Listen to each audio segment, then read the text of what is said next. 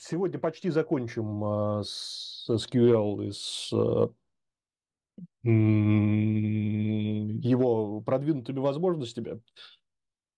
А, рассмотрим DCL, некоторые функции, некоторые команды и варианты команд, которые мы еще не рассмотрели, которые позволяют делать более сложные интересные вещи с запросами и с обработкой данных. Поехали.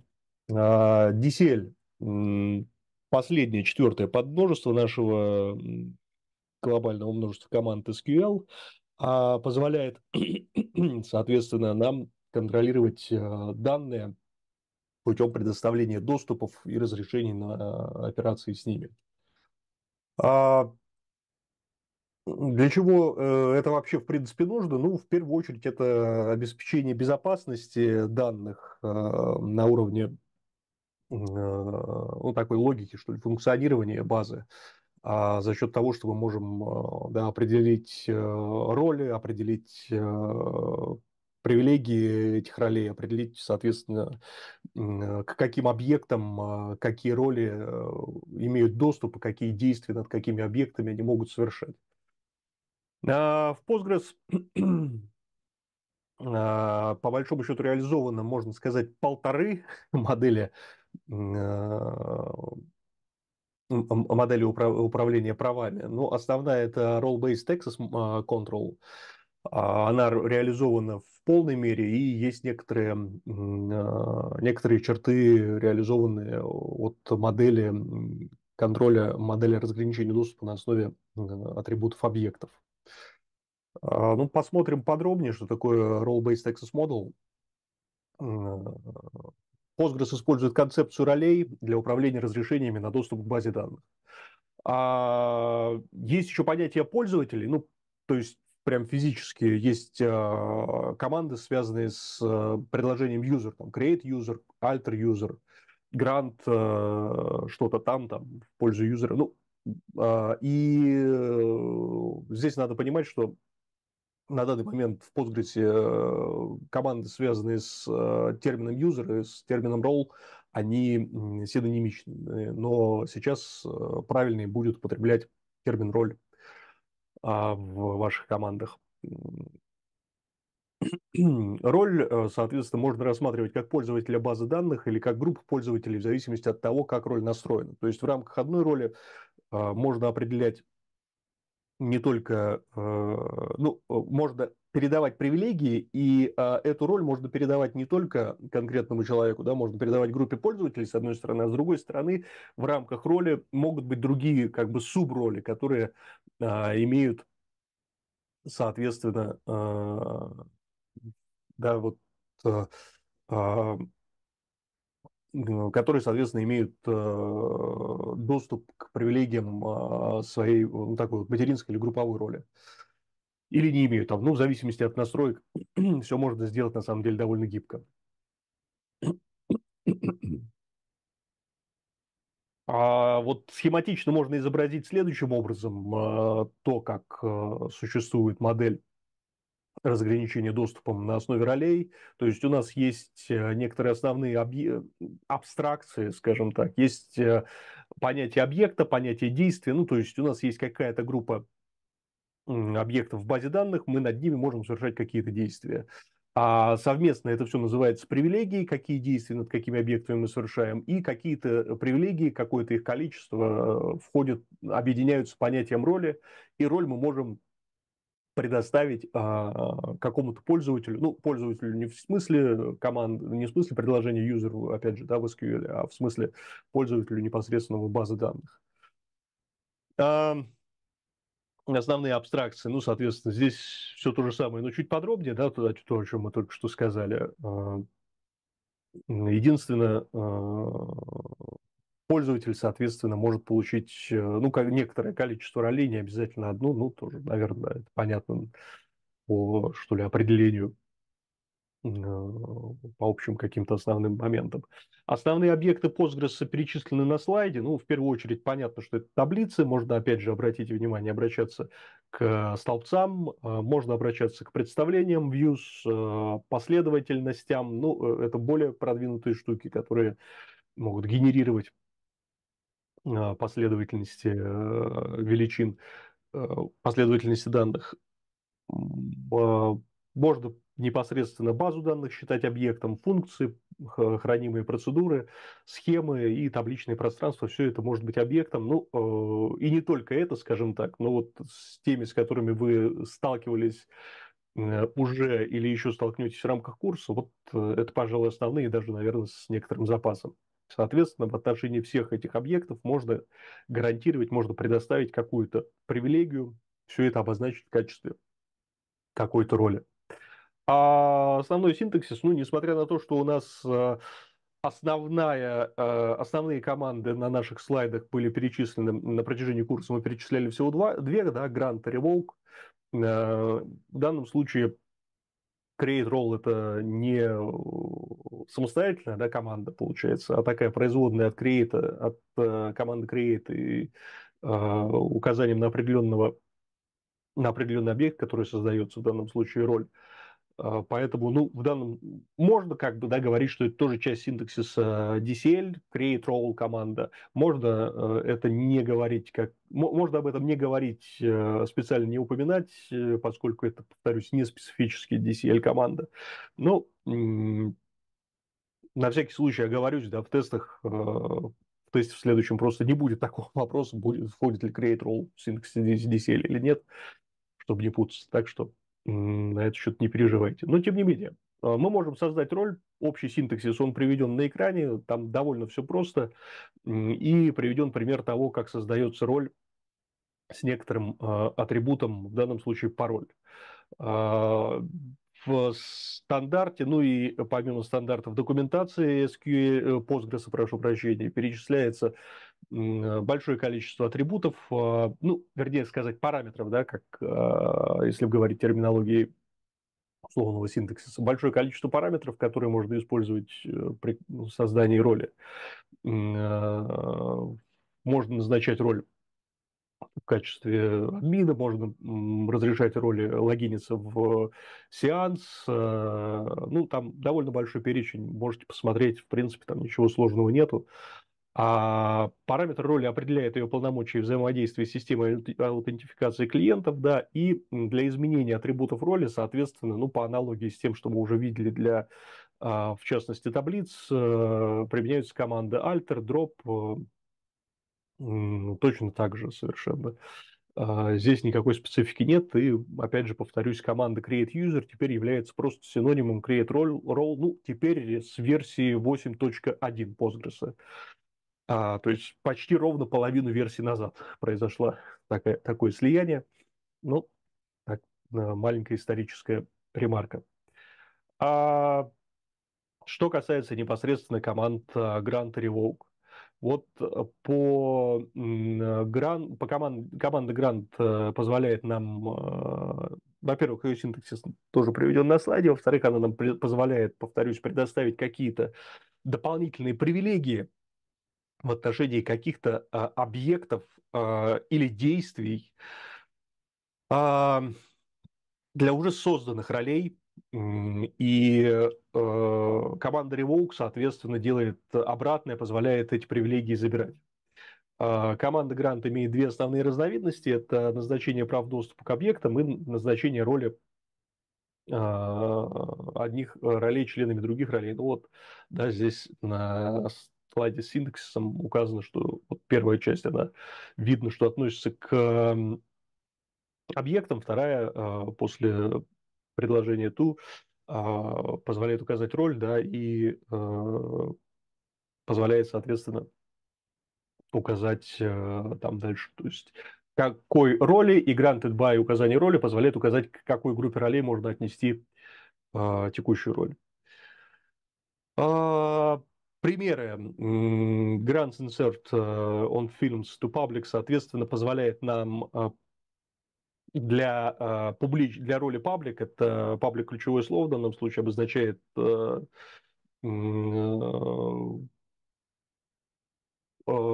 такого общего доступа. Мы для, вот, роль, для пользователя по умолчанию э, предоставляем ему возможность э, вставлять в э, таблицу фильмы какие-то данные. Вторая, второй пример позволяет все, все возможные привилегии для некой таблицы Kinds предоставить пользователю Мануэль. И последний пример, соответственно, позволяет у нас в роли админов включить пользователя Джо. Revoke, ну, Соответственно, да, как уже было сказано, это обратная команда, то есть здесь э, синтаксис похожий в плане того, что мы тоже должны указать, либо что мы э, забираем, какие привилегии в отношении каких объектов, и, или, или какие действия э, запрещаем совершать, и указать должны также роль, и можем указать, соответственно, из какой группы ролей какая роль исключается. Э, мы можем также э, указать да, option, grant option for, э, соответственно, мы можем отозвать право передачи текущей привилегии от какого-то пользователя, но не саму эту привилегию. И если мы да, не указываем, не специфицируем на нашу команду грант, то да, право и распоряжение им отзывается по умолчанию совместно.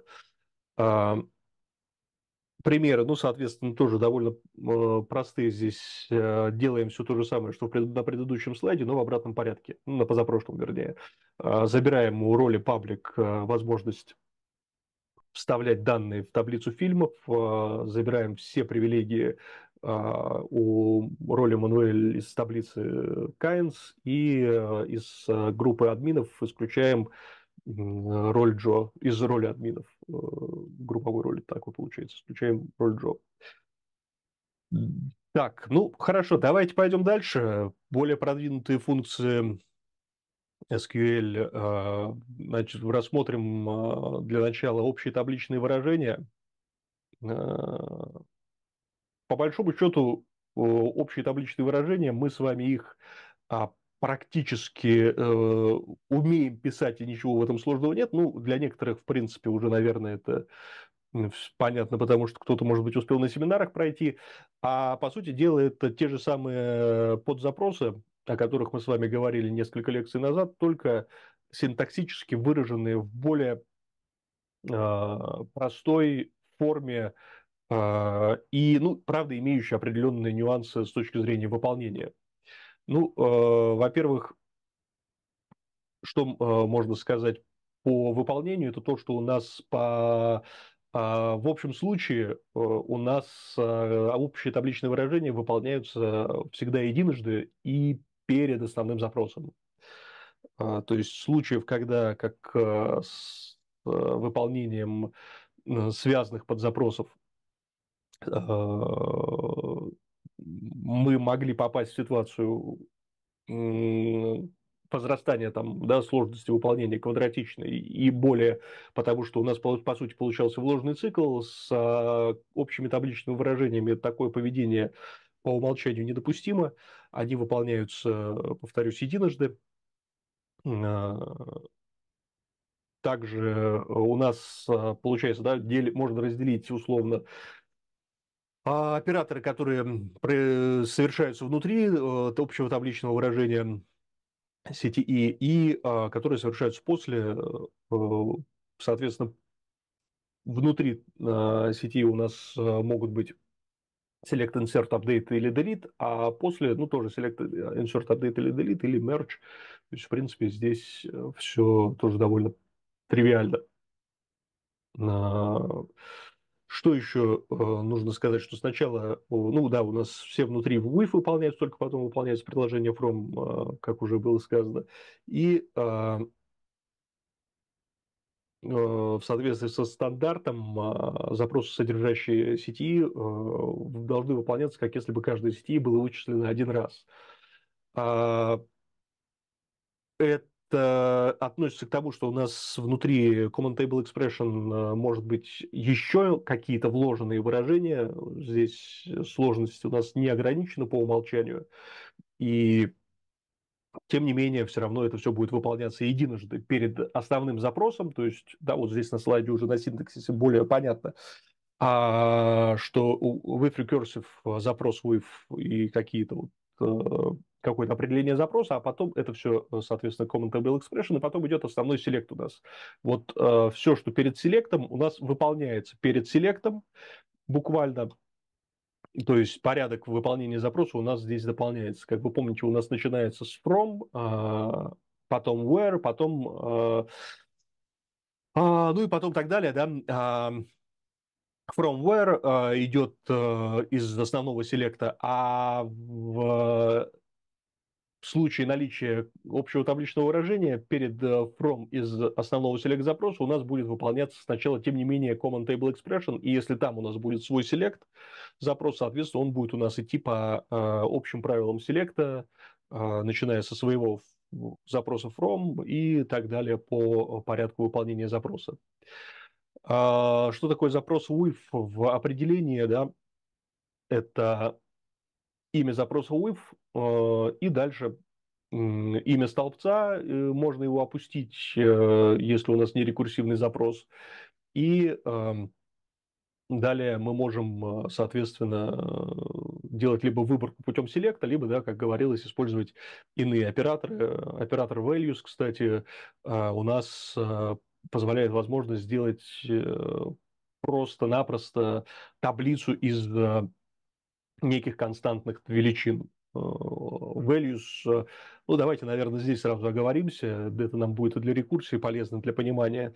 То есть values мы отдельно его не рассматривали в рамках курса до сих пор, но если вы обратитесь к документации э, того же Postgres, то увидите, что values в списке команд выделен отдельно.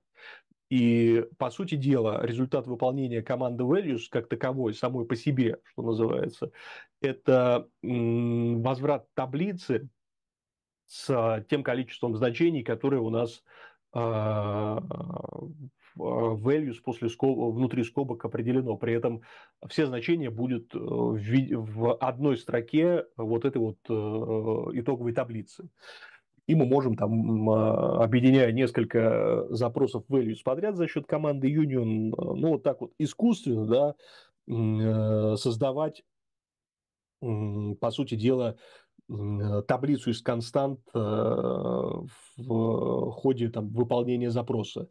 Э, для чего это нужно? Ну, как бы бывают случаи, скажем так, да, но в общем виде, конечно, э, так делать не надо. Если у вас э, есть какой-то набор э, константных величин, просто запишите их как константы внутри запроса и не, ну, не надо делать дополнительных команд с запросов с командой values для создания дополнительных лишних таблиц. Ну, Окей, сейчас э, дойдем до рекурсии, будет чуть более понятно, что все это означает. А пример а, CTE, да, соответственно, что здесь мы делаем? Ну, э, вот у нас основной селект-запрос. В общем, все понятно, наш типичный селект-запрос э, с группировкой, с выборкой по не, даже с подзапросом, кстати говоря, он даже с выборкой по э, вхождению региона в некоторое множество регионов э, топовых. При этом, обратите внимание, у нас э, вот этот вот э, предварительный э, запрос сети, даже два их, во-первых, мы можем их э, через запятую после единственного оператора WIF, после единственной команды WIF через запятую мы их можем перечислять. А псевдонимы мы им назначили, да, и э, получается один э, сети у нас пошел в подзапрос основного запроса Select, а другой сети у нас оказался в качестве э, в качестве э, еще в качестве таблицы, да, из которой э, также у нас под запрос э, вытаскивает данные уже во втором сети. То есть первой сети Regional Sales у нас появляется в, во втором сети Top Regions. Вот, Regional Sales. Сам Top Regions появляется у нас в подзапросе основного запроса. Никаких проблем с этим нет. Пожалуйста, группируйте э, так, э, используйте под запрос, э, прошу прощения, общее табличное выражение везде, где уместно использовать ссылаться на таблицу, потому что да, результат выполнения сети – это у нас некое результирующее отношение, некая результирующая виртуальная таблица. А, и вот в данном случае у нас выдается, а, выдаются итоги по продажам только для передовых регионов. Предложение, да, WIF определяет два дополнительных оператора, э, об их использовании мы уже с вами сказали, да, что один используется в другом, а второй используется в основном а, селект-запросе в качестве внутри, внутри даже подзапроса. А, можно было бы переписать без WIF, как справедливо сказано на слайде, но тогда у нас вот э, в подзапросах было бы ну, в частности, вот в этом подзапросе основного запроса просто было бы несколько уровней вложения э, э, селектов, несколько вложенных селектов, что, конечно, бы, э, ну, на мой взгляд и на взгляд многих, сильно бы ухудшило читаемость того, что мы с вами здесь видим. Окей, давайте рассмотрим рекурсию. Рекурсия – это, по сути дела, специальный вид Common Table Expressions. А, и на самом деле, хотя это все называют рекурсией, это в стандарте называется рекурсией, это в документации того же Postgres называется рекурсией, это не рекурсия, это итерация, и по большому счету а, вот э, исследователями баз данных в 80-х, 90-х годах были, было доказано, что мы э, нашим декларативным SQL э, описать э, рекурсивный запрос не сможем надлежащим образом. Синтаксис практически не меняется, за исключением обязательного включения в него дополнительного ключевого слова, ключевого предложения recursive. Соответственно, используя recursive, мы даем команду нашей СУБД, что мы хотим сделать наш запрос рекурсивным. Что значит в данном случае рекурсивность? Э, это означает то, что он э, под запрос как бы, прошу прощения, Common Table Expression, конечно, не под запрос, что наш, наш э, сети как бы обращается к собственному результату, как бы, э, ну, как бы, э, вернее, не как бы, он обращается со, к собственному результату, ну, и мы понимаем, что обращение к собственному результату – это как бы обращение к самому себе, но на самом деле нет, мы просто используя промежуточные схемы э, для хранения, промежуточные э, отношения, промежуточные виртуальные таблицы для хранения результатов э, выполнения каждой итерации, в итоге получаем такой же результат, как если бы мы действительно использовали рекурсию, то есть вызывали бы наш запрос изнутри него самого повторно столько, сколько там да, предполагается по условиям, собственно, запроса. Для чего вообще нужны рекурсивные запросы? Для того, чтобы в первую очередь э, извлекать э, данные, имеющие по сути своей иерархическую структуру, но которые, тем не менее, хранятся в таком, условно говоря, плоском виде, в виде э, наших отношений э, реляционных, в виде таблиц, по сути дела. Э, причем э, таблиц не э, как, да, вот мы храним графы в табличном представлении, а несколько, в несколько ином виде. Сейчас посмотрим, как именно. Но давайте посмотрим сначала на примитивный пример рекурсии, вот это прям, э, не буду даже приписывать себе лишних заслуг, вот это вот просто цитата из э, документации Postgres, здесь такой пример предлагается э, рассмотреть. Что здесь происходит? Здесь происходит, на самом деле, очень простая штука. Здесь суммируются числа от 1 до 100.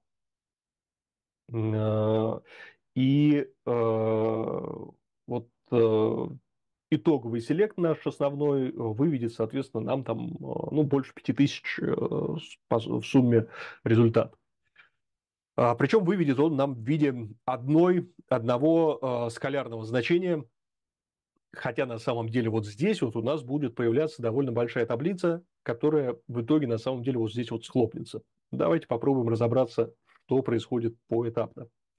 Во-первых, из чего состоит рекурсивный запрос в данном случае?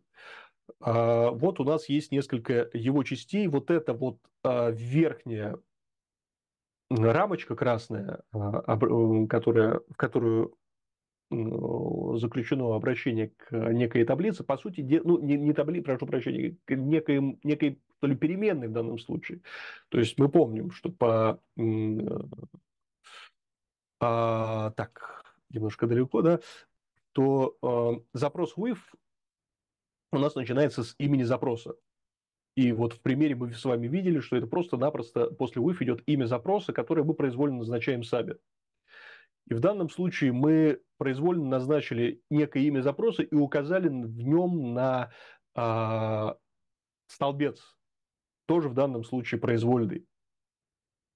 Э, и это важно, потому что у нас столбцы должны, э, их количество должно соответствовать ну, внутри нашего рекурсивного запроса. Должно соответствовать тому количеству столбцов, которые мы определили вот в этой такой, что ли, переменной нашей, условно говоря, а, которую мы используем для рекурсии. Нерекурсивная часть. По сути дела, это все, что идет после скобки и до э, команды union или union all. В данном случае union all, да, вы помните, union all у нас сохраняет все повторяющиеся строки. По сути дела, э, присоединяя каждую новую строку к уже имеющимся. А просто union у нас тогда бы что сделал? Э, у нас бы он исключал э, строки повторяющиеся. Ну, затирал, по сути дела. А, и после команды union или union all у нас идет собственная рекурсивная часть. И в данном случае что у нас происходит? У нас select запрос, ну, во-первых, values. Да, давайте все-таки с нерекурсивной части. Values 1, как мы с вами чуть раньше сказали, команда values у нас вернет строку таблицы.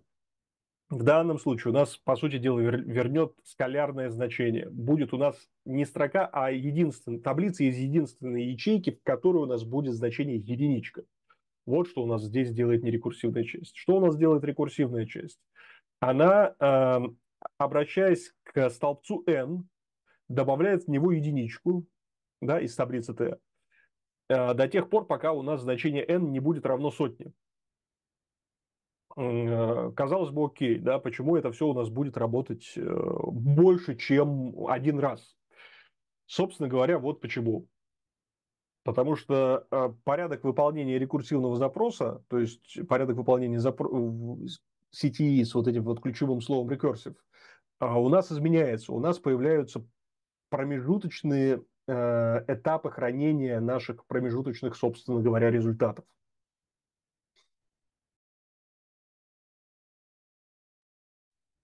А, какой порядок?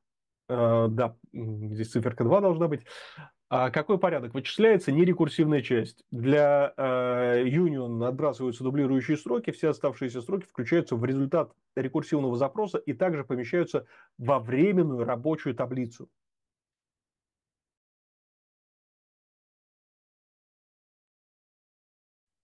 А при этом важно также понимать, что у нас вот а, грубо говоря, очень грубо говоря, вот двойные, тройные и так далее кавычки, вот мы вот это обращение, э, вот, это вот, вот это обозначение t в скобках n, n как некий столбец, как некая колонка, мы это можем рассматривать как своего рода переменную. Э, и у нас количество вот этих вот переменных столбцов должно совпадать с тем, что у нас получится в нерекурсивной части количеством столбцов и в рекурсивной части. То есть, если бы у нас здесь было n, запятая там n1, запятая n2, n3, у нас бы здесь values должно было быть 1, 2, 3 и так далее по количеству столбцов в нашем имени, э, имени сети. И вот здесь вот в рекурсивной части также у нас select запрос должен был бы выдавать количество столбцов, равное количеству столбцов в, в имени э, нашего общего табличного выражения рекурсивного. А, хорошо. Далее у нас да, помещается во временную рабочую таблицу наш, э, наша нерекурсивная часть, и пока рабочая таблица не пуста, повторяются следующие действия. А, вычисляется рекурсивная часть, а, так что Так что рекурсивная ссылка на сам запрос обращается к текущему содержимому рабочей таблицы. А происходит, в принципе, да, то же самое. У нас э, вычисляется, да, добавляется все это в э, некую таблицу, но уже промежуточную, и далее содержимое рабочей таблицы заменяется содержимым промежут, промежуточной таблицы, а затем промежуточная таблица очищается. А, то есть пока у нас а, не а, окажется результатом вот этого запроса пустая таблица, да, а, то мы не, не остановимся в выполнении. И остановка произойдет, ну, соответственно, по условию в данном случае, э, что n меньше 100. А, как это все еще можно понять, ну, как бы более, что ли, на пальцах э, для себя? Можно попробовать вот что сделать. Попробовать разложить вот этот вот запрос рекурсивный на нерекурсивные части, попробовать его переписать. Тогда у нас вот это values 1 должно стать create table n, э, table t, прошу прощения, с э, колонкой n, и мы туда добавляем значение единичка. И вот мы, в отличие от э, рекурсивного запроса, у нас здесь появляется виртуальная таблица, не существующая в базе нашей, э, которая условно называется рабочая. Здесь мы ее прям прямо создаем, если мы пытаемся да, вот разложить для себя, э, воспроизвести рекурсивный запрос э, не рекурсивно. А э, рекурсивную часть рекурсивного запроса мы повторяем вот следующим образом. Select n from t а, и union all select n плюс 1 from t where n меньше 100. Единственное что, единственное что, вот, этот вот, вот эта часть вот в этой рамочке, она выполнится, конечно, единожды. Для полного тождества нам пришлось вот это вот все заключать в функцию э, или в процедуру. И э, функции или в процедуре нам э, проверять условия и итерировать вот это вот, э, вот этот вот select запрос столько, сколько потребуется дополнительно еще и его результаты, добавляя в нашу э, вот исходную таблицу Т, которую мы прям физически создали. Э, вот, в принципе, наверное, и все, что, э, что нужно попытаться понять о рекурсивном запросе ну, вот на таком базовом уровне. Для простоты я вам предлагаю просто руками попробовать поиграться с рекурсией Э, с простыми какими-то элементарными запросами, взять тот же вот этот вот запрос по вычислению первых 100, по вычислению суммы первых 100 а, натуральных целых чисел, э, и э, посмотреть, да, вот что будет, если там поменять один параметр, поменять другой, поменять количество колонок, поменять вместо суммы, поставить, например, просто в основном select запросе поставить просто выборку всего, что получится в рекурсии и так далее. А, но в целом, да, надо просто понимать, что у нас каждый раз к вот этой нашей первой, ну в данном случае первой строке добавляется новая строка, а, и когда у нас, ну сначала у нас появляется две, сначала у нас появляется строка с единичкой, здесь у нас появляется тоже одна строка, но с двойкой, она добавляется вот сюда. А, далее мы прибавляем здесь а, единичку, и а, у нас появляются строки 2, 3, мы их опять добавляем вот сюда, потом у нас появляется, э, здесь у нас уже строки 1, 2, 3, мы добавляем единичку, появляются строки 2, 3, 4, мы их добавляем опять э, в исходную нашу вирту... ну, в рабочую нашу таблицу, появляются строки 1, 2, 3, 4 и так далее до тех пор, пока мы не дойдем до 100. А потом у нас э, все схлопывается в основном селект-запросе с помощью агрегирующей функции сам и выводится просто скалярный э, результат сложения всех э, первых там 100 чисел. А результат 550, можете э, там, да, проверить, э, запустить запрос, проверить результат, посмотреть. А если мы, как раз, как я и говорил, уберем из внешнего селект запроса функцию суммирования, то из основного селект запроса, то у нас получится просто Э, набор наших э, данных до сотни. Причем, э, что интересно, да, почему у нас здесь 100 будет.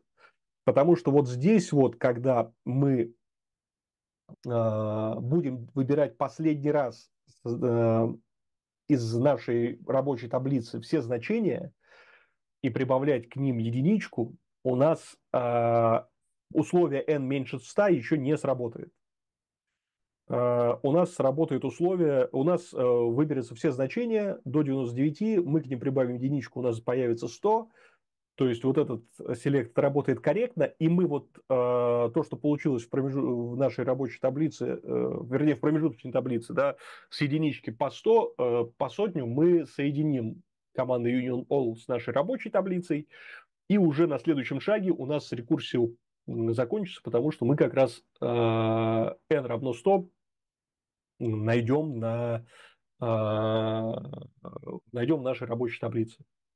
Поэтому здесь, ну, здесь коррек... Э, это, это корректный результат, он получится, получится в том числе и у вас. И здесь не надо этого, этого как бы страшиться, да. Э, это не баг, это фича, это особенности обработки рекурсии, потому что здесь мы соответственно, да, э, на этапе 99, когда мы выберем, выберем э, все значения до 99, э, а потом прибавим единичку, мы получим сотню. Поэтому все корректно. Ну, это примерно как вот да, в цикле while условия у нас идет проверка условия после совершения операции. Вернее, прошу прощения, перед совершением операции, конечно же. А, давайте посмотрим на более сложный пример. Вот у нас есть таблица parts. Мы хотим э, посчитать, сколько деталей нам нужно для нашего продукта our product. То есть our product – это некий агрегированный продукт, состоящий из некоторого количества деталей. А э, э, у него есть, соответственно, да, части и субчасти. То есть вот, вот это вот все, если вы э, обратите внимание, выгля- э, будет построено в виде графа вершинами э, в виде дерева даже. Э, и на верхушке дерева э, верхним самым узлом будет our product. От него будут отходить, соответственно, 4 дуги к вершинам bolt, 4 дуги к вершинам nut, 4 дуги к, вершинам washer, и уже от bolt, screwer и washer будут отходить, ну, в данном случае от bolt, конечно же, а, и от washer, да, тоже, прошу прощения, а, и от э, вершин болт и washer будут отходить еще дуги к screw. От screw будет отходить дуга к metal, от washer будет отходить дуга к rubber. Ну вот, соответственно, да, такая вот, такое вот у нас дерево получается. А, раз, два, а, три, четыре, четырех, четыре, четырехуровневое а, максимально в глубину. И э, мы хотим, соответственно, посчитать, сколько деталей нам нужно для каждого нашего продукта, вот этого верш... Э, конечного our product. И наш ожидаемый результат вот такой вот. То есть мы да, э, считаем количество дуг, по сути дела, в этом графе. Вот our product, 4 болта нам нужно. В четырех болтах по два винта, ну, вот так условно, давайте тогда на английском, да, 4 болт, болт нам нужно для our product, 2 screw нужно для каждого болта и по одному metal нужно для каждого screw. Соответственно, 1 на 2 на 4 получается 8. 8 э, частей metal нам нужно. Правильно? Правильно. Metal 8. И э, как нам этого добиться? Вот таким вот э, интересным запросом. Обратите внимание, как мы с вами и говорили, перечисляемые в имени нашего рекурсивного CTE э, столбцы, они все должны у нас фигурировать и в нерекурсивной части, и вот они у нас все фигурируют, и в нашей рекурсивной части, и вот они у нас тоже все фигурируют. И для, э, соответственно, а, так, да, да, все правильно. И, соответственно, что мы с вами делаем? Здесь э, выбираем в рабочую нашу таблицу э, part, part quantity из э, таблицы частей наших, где у нас мы, где у нас часть является главным продуктом, где смотрим, выбираем все части для главного продукта. И дальше мы из таблицы частей мы из таблицы частей и также из, собственно, самой, самого нашего этого рекурсивного запроса начинаем выбирать все части, при этом мы количество умножаем из таблицы частей, умножаем на количество из нашего рекурсивного запроса, выбираем все части по условию, где часть равна э, своей завчасти. Ну, понятно, да, то есть мы, по сути дела, вот таким образом по узлам э, дерева нашего спускаемся вниз э, до тех пор, пока э, у нас не нарушатся условия рекурсии, ну, в данном случае, пока у нас не будет несоответствия между частью и запчастью. Далее мы, ну, все это понятно, складываем там, где нужно, э, и э, группи, ну, группируем, складываем, и получаем нашу результирующую таблицу, вот как в ответе. А, опять же, ну, здесь просто рекомендую руками, что называется, попробовать э, этот запрос по задавать базе, по обращаться к базе с ним. Там, может быть, попробовать убрать by, чтобы посмотреть, да, как у нас, э, и, и, и сам quantity, например, тоже, чтобы посмотреть, как вообще у нас э, сам рекурсивный запрос отработает в э, таком первом приближении, без какой-то агрегации и обработки его данных в основном запросе. Но еще раз, наверное, важно понимать, пожалуй, самое главное, это то, что у нас количество вот этих наших, условно говоря, переменных, э, а по сути дела названий столбцов, должно везде у нас совпадать. Если у нас не будет совпадения, это будет, будет проблема для запроса, у нас он упадет с ошибкой. И, э, по сути дела, да, вот здесь у нас union all.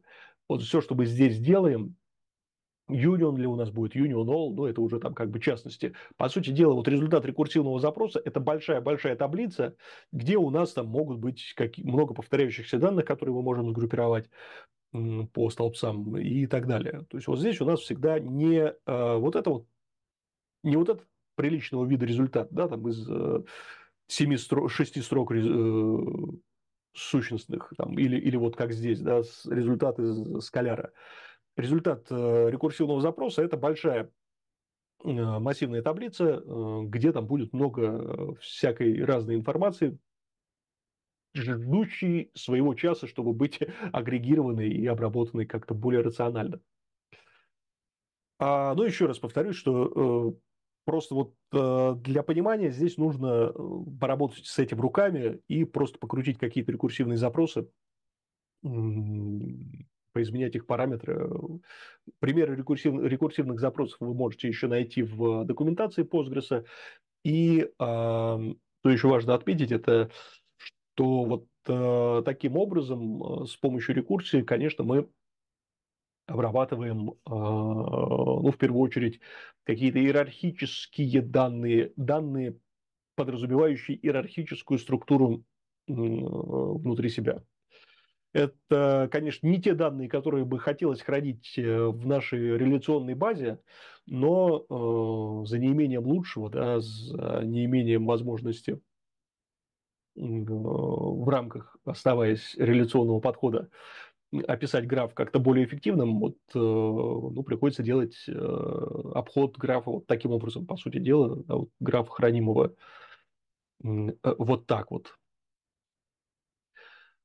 А, так, опять же, да, это не таблица смежности, повторюсь, это вот э, совершенно другая конструкция, которая вот из э, теории алгоритмов, э, алгоритмов на графах не следует, ей вообще не соответствует. Окей, а, двигаемся дальше. У нас на очереди представление. Что это такое? Ну, представление принципе, довольно простая вещь. Это виртуальные таблицы, которые представляют собой результат выполнения некоторых SQL-запросов. А важно понимать, что представление, в отличие от э, того, о чем мы с вами говорили ранее, это не реальная таблица, это просто определение, по сути дела, запроса. Э, представление внутри себя всего лишь сохраняет SQL-запрос и э, предоставляет дальней, сохраняет SQL запрос, назначает ему некий псевдоним, по сути дела, и предоставляет возможность обращаться э, к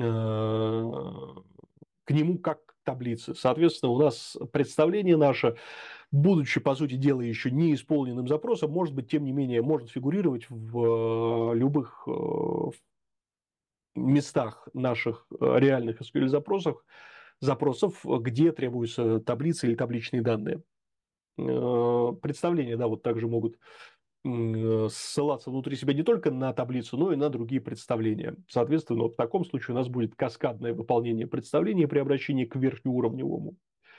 И ну, по, по цепочке, двигаясь вниз э, к нашим физическим отношениям, будет, соответственно, выполняться наш запрос.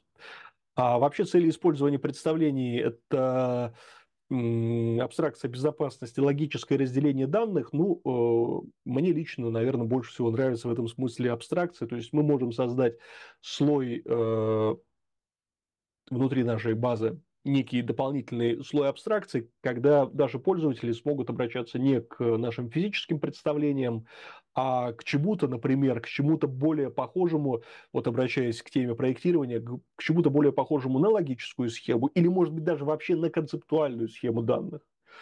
Это уже такие вопросы немножко перемежающиеся с а, хранилищами данных и с обработкой данных с анализом данных, так сказать, на лету э, в режиме онлайн, э, да, вот э, с тем, что как мы данные агрегируем, собираем их в хранилище, из хранилища их выводим на витрины, делаем лап-кубы и так далее.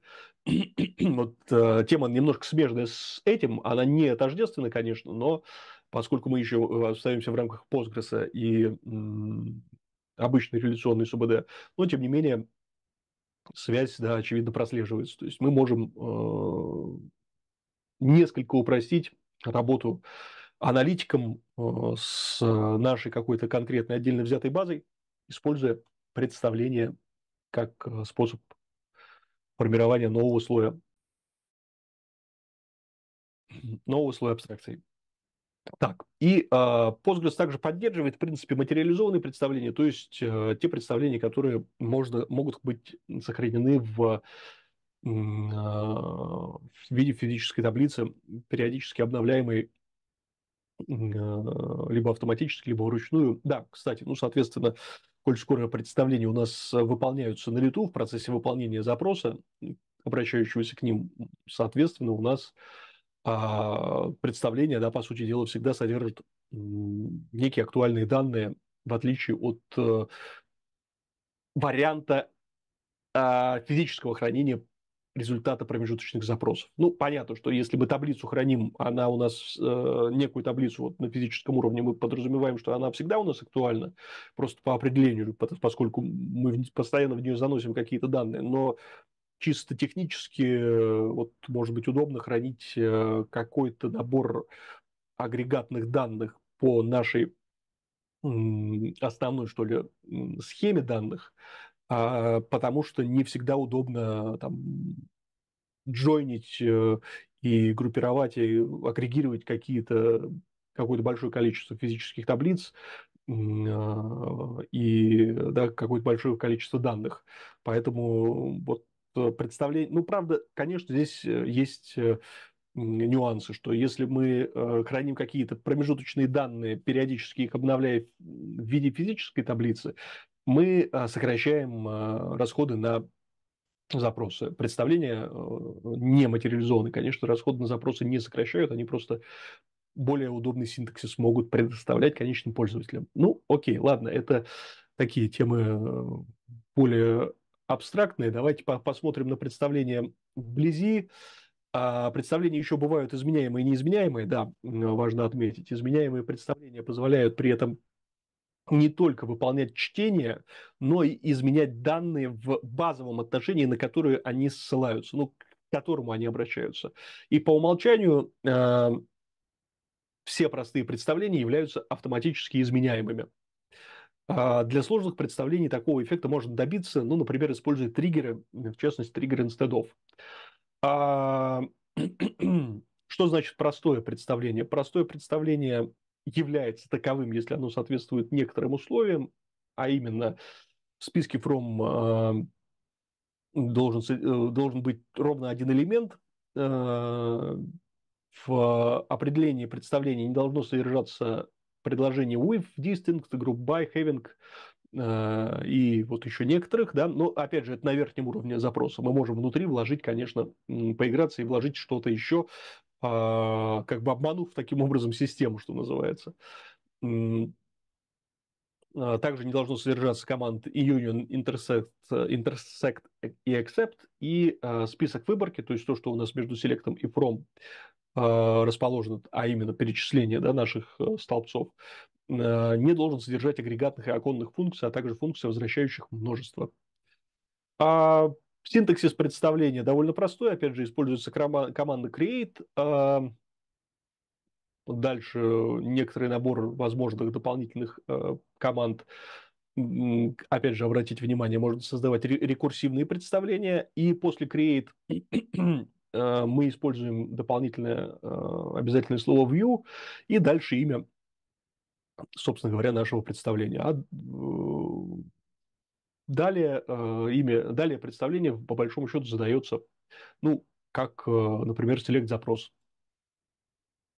Вот, например, а, создание представления а, а, комедии да, из э, данных некой э, таблицы с фильмами э, мы создаем наше представление по условию, что тематика, ну или жанр фильма у нас соответствует теме комедии, ну соответствует мар- маркировке комедия. При этом э, обратите еще внимание на нашу селект звездочку. Звездочка в данном случае ведет себя специфически, потому что мы, э, хотя и вроде бы обращаемся, казалось бы, ко всем столбцам, но на самом деле наша база запоминает э, при создании, что мы, что мы делаем, а именно, вернее, запоминает при создании представления свою структуру, и в дальнейшем, когда мы будем использовать наш запрос, у нас будут, будут выдаваться не все наши э, столбцы из таблицы фильмов, а только те столбцы, которые были в таблице фильмы на момент создания запроса. Эм, вот э, пример создания представления с э, изменяемого представления, но э, это изменяемое представление, оно имеет ограничения по, э, да, по а, по условию проверки. То есть у нас э, здесь, если мы э, обратимся, да, вот мы создали представление, view, э, представление Universal Comedies. Если мы к нему обратимся в дальнейшем с, внутри кома- по команде insert, с командой insert или update, то мы не сможем вставить или обновить э, запись, вставить запись или обновить, э, если у нас э, она не пройдет проверку, да, если у нас не будет classification, поле classification равно значению u. При этом ограничение по полю kind, да, вот то, о чем мы говорили при создании представления комедии, а мы обратите внимание еще раз вот в предложении From ссылаемся тоже на представление комедии, созданное ранее. То есть мы э, при добавлении в наше э, представление второго уровня Universal Comedies а, должны будем соблюсти только э, по классификации, только по условию classification правильное значение. Мы должны будем добавлять только строки с classification равно U. А тот факт, что у нас а, еще на самом представлении Comedies было наложено ограничение, то есть на столбец kind, он проверяться автоматически не будет. А, и а, ну, у нас, соответственно, да, могут быть какие-то ошибки в связи с этим, если у нас нет ограничений дополнительных на наши на нашем базовом отношении. А если мы хотим сделать необходимую проверку не только э, нашего текущего отношения, э, представления, к которому мы обращаемся, но и э, подлежащих представлений, то есть представлений, на которые ссылается наша верхнеуровневая, то мы должны check option из, изменить и использовать не local, а cascaded. Тогда у нас вот в случае создания представления по команде на слайду, на слайде, прошу прощения, будет проверяться не только э, столбец classification, чтобы э, в нем была маркировка PG, но и столбец kind из нашего э, подлежащего э, представления comedies, чтобы также э, маркировка была правильная в строке по столбцу comedies была, было значение comedy. А вот еще пример представления, где э, поддерживаются операции insert и delete, но изменяться будут все столбцы из таблицы films, кроме вычисляемых столбцов. То есть у нас здесь а мы, мы выбираем из, табли, из, таб, из таблицы films все столбцы, да, вот э, f э, точка звездочка, но еще мы добавляем несколько столбцов э, Э, несколько столбцов, э, которые вычисляются в процессе. Это country и average rating. При этом, да, country code to name это некоторая вот у нас функция получается. И average rating это у нас результат выполнения внутреннего связанного с результат выполнения под запрос select они не соответствуют э, в данном случае да, определению простого запроса, и э, они, они у нас изменяться не будут при э, использовании insert или update или delete. А, хорошо, оконные функции. В данном случае э, оконные функции – это расширение, можно сказать, функциональности предложения Group By, э, Group By да, а за счет э, того, что мы можем теперь не схлопывать строки с одинаковыми значениями, а оставлять их различными так, вопрос. Можно сделать так, чтобы представление выдавало действительно все значения, даже добавленные после создания view. А, ну, в общем случае, оно будет выдавать все значения даже после создания view. Просто если здесь вопрос, смотрите, новые строки оно выдавать будет. Новые атрибуты внутри таблицы, к которой оно обращается, оно выдавать не будет. Вот э, такой механизм. То есть э, здесь вы ограничены по атрибутам. Вы тогда просто должны будете, будете обновить представление после создания. А, так, с оконными функциями, как уже я сказал, строки не группируются в одну выходную строку, и э, оконную функцию можно определить э, путем того, что она всегда содержит предложение over. А, смотрите, здесь э, довольно синтаксис, наверное, простой. Вот с пониманием, опять же, оконных функций будет сложнее. То есть, когда у нас есть некоторая функция, мы можем э, предложение, э, использовать после нее предложение over и дальше определить, э, собственно говоря, окно, внутри которых функция, получается, у нас будет действовать. А, и для определения окна у нас существует несколько вариантов. Имя существующего окна, ну, э, этого мы касаться не будем. А вот partition by, order by и определение рамки, об этом сейчас с вами поговорим. Предложение, собственно, over определяет э, то, как э, именно нужно разделить строки запроса для обработки оконной функции. Э, да.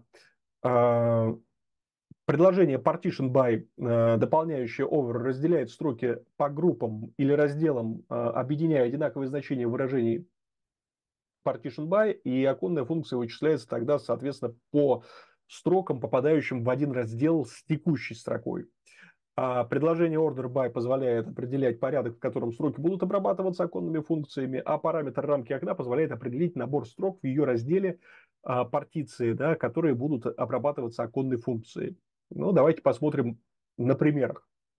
А, оконные функции, а, если у нас а, внутри over не определено, собственно говоря, окно, ну, по сути дела, отработает как просто суммирование. Вот э, все значения из э, столбца salary, по сути дела, у нас э, в данном случае подцепятся, э, просуммируются и присоединятся в виде дополнительного столбца сам. А вот, например, а, а вот что будет, если мы э, в данном случае проведем э, если мы в данном случае определим среднее жалование, но окно определим по департаменту. В таком случае мы везде смотрим на каждую строку, и по департаменту мы, соответственно, определяем партицию. То есть окно для... Ну, единственное, здесь у нас, э, прошу прощения, немножко разнобой получился с заголовками и с определением столбцов. Но depname – это department, no, no – это employee number и salary – это salary. А average, соответственно, average salary. А, то есть мы здесь в столбце department выбираем а, имя, э, конкретное, конкретное, прошу прощения, э, название департамента, dev, develop, и наша партиция получается равна вот этому вот окну наше окно, э, на, наш раздел, да, на, вот оконная функция у нас будет действовать вот в этом вот разделе develop, но по каждой строке. Единственное, что в данном случае у нас э, нет э, никаких спецификаций для э, определения рамки окна, то есть внутри, окна, внутри партиции может быть еще и дополнительное ограничение, дополнительная рамка э, по отношению к строке. И э, у нас получается тогда функционал очень похожий на Group By. А, по департаменту э, суммируется э, все жалование и вычисляется среднее жалование, средняя заработная плата. То же самое по департаменту персонал и по департаменту sales. Ну, опять повторюсь, да, очень похоже на By. Первые три столбца извлекаются из э, нашей таблицы непосредственно, а причем для э, каждой строки таблицы есть строка результата. В четвертом столбце оказалось среднее значение, вычисленное по всем строкам, имеющим тоже значение depName, что это текущая строка. Единственное, что здесь еще можно сказать, если бы у нас было group by, если бы было group by, у нас бы ответ был бы, так, прошу прощения, э, не по, не по каждой строке. У нас бы вот это вот все схлопнулось вместе, и а, ответ был бы только один. И мы бы не смогли его подцепить, не используя там каких-то дополнительных ухищрений, а, не смогли бы подцепить напрямую к каждой строке нашей исходной таблицы. С партиционированием, с оконной функцией мы это делаем легко, потому что, как говорилось в определении, результат выполнения оконной функции при использовании оконной функции у нас не происходит схлопывание строк, у нас вот этот over, наше определение окна, не э, заставляет базу данных все это сжимать э, воедино в некий, ну, условно говоря, сжимать, да, вот в кавычках, в некий агрегирующий, агрегированный результат. Э, давайте посмотрим еще на пример с э, order by. А, здесь довольно любопытная штука происходит, потому что order by у нас действует так. Сейчас, да, по умолчанию с указанием order by рамка состоит из всех строк от начала раздела до текущей строки из строк, равных текущей по значению выражения order by. Но об этом чуть подробнее через несколько слайдов. А, так, и мы здесь, а, по сути дела, вычисляем ранг а, по а, жалованию внутри а, партиции, определенной по а, департаменту. Соответственно, у нас есть департамент, а, у нас есть э, жалование, и э, вот у нас первое окно, develop, разработка, и смотрим тогда, да, какой у нас э, ранг по, по жалованию. 6 тысяч – это максимально в нашем окне? Да, это максимально, вот у нас первый ранг. И 5200, соответственно, следующее значение, и 4500 Э, значение номер 4 и 4200 значение номер 5. Э, почему так? Потому что у нас а, здесь одинаковые э, значения жалования и э, ранг он у нас один, но в общем зачете это уже получается да, третья строка. Вот эта строка четвертая, пятая. В общем зачете э, э, работников, что ли, да, Поэтому, то есть это пятый, это четвертый работник всего, и он на четвертом месте, но э, он как бы на третьем месте, но по, по сути он четвертый. вот э, такая немножко сложная логика за счет э, использования order by rank, но э, в принципе, если, если вы попробуете это руками, вы к этому привыкнете. А, выдает порядковый номер, как уже да, было сказано, для каждого уникального значения в разделе текущей строки, по которому выполняется сортировка order by. У функции rank нет параметров, так как ее поведение полностью определяется поведением over. А давайте еще немножко с примерами. Здесь у нас э, тоже вычисление э, суммы заработной платы, но без партиционирования и только с использованием order by для задания рамки окна. А, тогда что у нас происходит? Поскольку order by у нас действует, как было сказано ранее, а, на все предшествующие строки и на текущую, то когда мы вот в этом окне начинаем по каждой строке, мы проходим, повторюсь, да, а, начинаем проходить по каждой строке, отсортированные, отсортированные по а, жалованию, получается, что 3500 это наименьшее значение, то есть за, до 3500 у нас просто физически нет меньшего значения, то есть физически нет другой строки.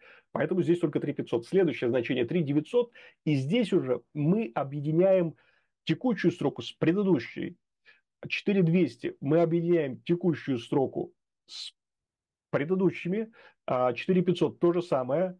А, опять же, да, order by идет по salary, поэтому мы суммируем не сам, мы суммируем не, не у нас не, экспонент, не, экспо, не экспоненциальный рост получается, все здесь Э, нормально у нас получается рост по salary 3500 плюс 3 900 7400 плюс 4200 1160 11600 ну и так далее. И каждая новая строка у нас расширяет рамку нашего окна. Ну, наше окно, вернее, скажем так, правильнее, чтобы не путать понятия. Вот у нас первое, э, при первой строке окно в виде одной строки, прошу прощения, для второй строки окно уже из двух строк, для третьей строки окно уже из трех строк и так далее. Если бы у нас было еще партиционирование дополнительно, например, по, опять же, по тому же департаменту, то э, у нас было бы тогда э, внутри вот этого вот окна нашего, рамка окна всегда бы двигалась э, по order by посрочно, то есть э, было бы первое 4200 значение – и э, здесь был бы не рэнк, а сам, да, был бы тоже 4200. Второе значение было бы 4500. Рамка окна внутри партиции была бы уже из двух строк, и сумма была бы 8700. Дальше э, было бы 500, э, 5200. Рамка окна была бы уже из трех строк, и э, была бы сумма, э, соответственно, 8700 плюс 5200, да, 13900 и так далее. А, поэтому вот, э, вот это вот задание э, окна, определение окна, оно не взаимоисключающее, вот то, что здесь приведено, а оно взаимодополняющее. И мы можем поэтому говорить о том, что у нас есть окно, внутри, которое задается командой over, внутри окна мы можем дополнительно еще задать выражение, которое нам, эти, нам это окно либо сузит, либо как-то специфически расширит, э, и внутри окна мы можем задать еще и рамку, по которой будет наша функция проходить, чтобы э, уменьшить или э, каким-то образом специфическим агрегировать наши э, результаты так, как нам э, это необходимо. Так, э, хорошо. Тогда у нас э, да, вот э, небольшой комментарий по селект, по тому селекту, который мы с вами только что видели. А по той оконной функции, ну, в общем-то, мы это уже все сказали, что накапливается, накапливаются зарплаты от первой, самой низкой до текущей, включая повторяющиеся текущие значения. Обратите внимание на результат, да, вот э, э, в одинаковых сроках он не просуммировался у нас, потому что а, в данном случае у нас нет, э, ну, не просуммировался дважды, потому что в данном случае у нас однопорядковая, э, однопорядковый результат для выполнения вот этой команды. Order by salary, то есть 4800, 4800, он не, не различает, как и 5200, 5200, поэтому для него это одно и то же, он не считает это ну, а, он, это, ну, парсер, да, оптимизатор и так далее. Вот э, э, наш SQL-запрос не рассматривает э, вот эти вот строки как различающиеся, они для него едины, и он SQL-запрос для себя внутри вот своих каких-то оптимизационных процедур нашей СУБД уже учел эту строку, и новое идентичное значение для он уже не воспримет.